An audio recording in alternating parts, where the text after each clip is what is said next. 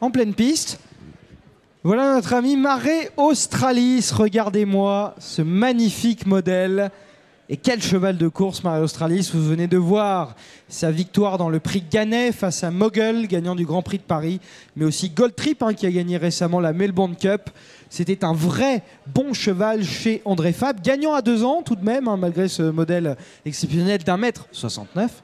Et à 3 ans, il a gagné le prix de Lave, placé du Conseil de Paris. Et à 4 ans, il est devenu le champion que l'on connaît, gagnant du prix Gannet, retardé un peu dans sa quête de l'Arc de Triomphe. André Fabre y comptait beaucoup. Et à 5 ans, il est quand même revenu se placer du Gannet et gagner le Grand Prix de Chantilly, terrain souple, bon terrain, 2004, 2000 mètres. Il savait tout faire, ce cheval. Et il présente un modèle extraordinaire, 1m69 de muscles, un peu comme son étalonnier, hein, qui fait quand même plus d'un mètre 69.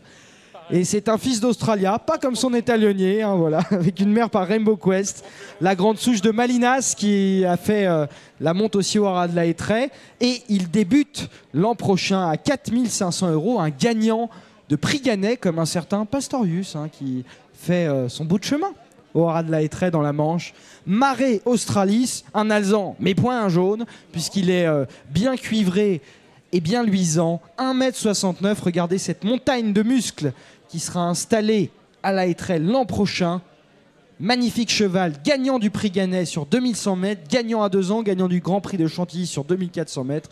Bref, beaucoup d'atouts dans son jeu pour devenir un futur grand de l'obstacle et pourquoi pas d'autres choses.